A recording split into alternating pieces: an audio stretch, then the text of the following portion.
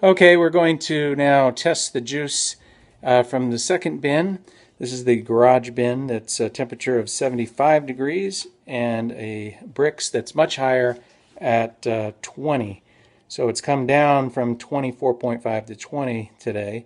But let's see how this one tastes. This is the 254 yeast.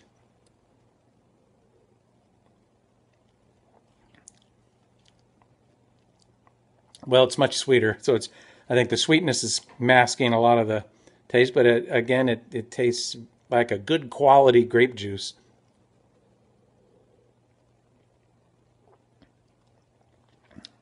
Mm, really good mouthfeel, like uh, full. So I really think these are uh, really are going to be a very complementary pair, the 254 and the D80. So cheers. Mm, that's good. I could drink a full glass of that.